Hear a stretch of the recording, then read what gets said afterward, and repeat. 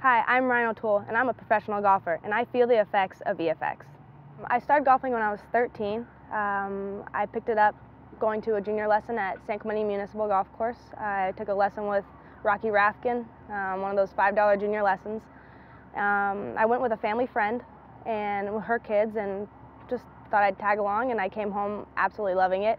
Um, my mom's friend gave my parents the, the business card of the pro saying that I need to start golfing and they didn't really believe me at first and so the pro ended up calling my house saying you need to get your daughter, started. Uh, I think she has potential and that's where it kind of took off. Well, John Adams, he you know, slapped it on my wrist and showed me the few tests. And at first, uh, before he did it, I, you know, was like everybody else. I didn't really believe it. Um, how could this be? How could that happen? It's just a hologram. But then once he put it on me and explained the whole theory behind it and showed me, I became a believer. And um, since then, I wear it every day. I, I take it off at night. Um, when I don't wear it, I definitely notice a difference, whether it be working out on the golf course, surfing. Um, I try to surf once a week, and I've gone where I forgot to put it on, and I even noticed the difference there.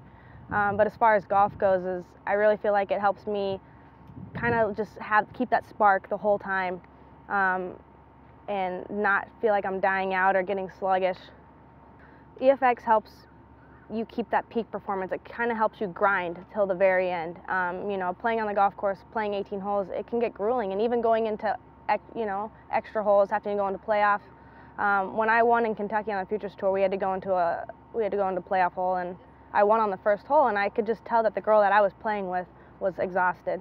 And for me, I, I, I could have kept going. I could have kept playing. So I really think that it keeps that edge. It keeps, you know, not in a golf, you want to stay calm, you want to be focused, and you, you don't want to have, whether it be jitters or you don't want to just kind of feel like you're amped up, but it definitely keeps you just strong. Um, I've been using EFX um, since they were created um, from, the, from the start. When I put an EFX bracelet on those that have power balance, they notice a significant difference. You know, they got their bracelet, oh, I saw it online, or oh, you know, so and so was wearing power bonds. But then as soon as I strap that off the wrist and put this one on, um, they, they, know, they now know what I'm talking about. They now feel the difference. If they don't want to do the test or if they just are shooting the breeze and they tell me that it's just you know all in your head and I'm, i tell them so what? Who cares if it's all in my head? I play a sport that's 90% mental. So if this gives me that mental edge over the girl that i'm playing against then that's fine. But it's what you believe and it's what you feel and if i took away the physical aspect of it and i just believed that it helped me and i didn't really feel the effects then that's fine. I mean i won twice this year with it on and i'll continue to wear it